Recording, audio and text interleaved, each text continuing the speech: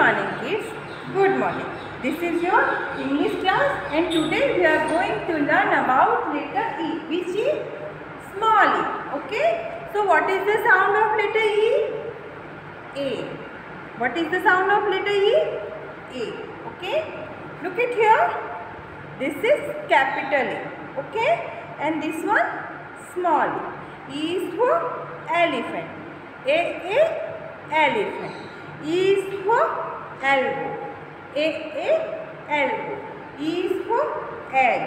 A A egg. Okay. So kids, how you have to write letter E? Look at here.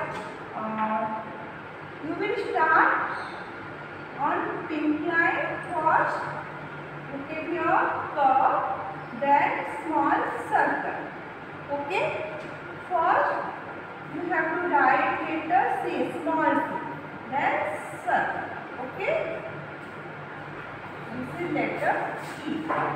And what is the sound of letter E? A. A. Okay. So kids, take out your wings workbook. Open the page number 48. 48, 48. First, trace the letter, then you have to write letter E. Okay.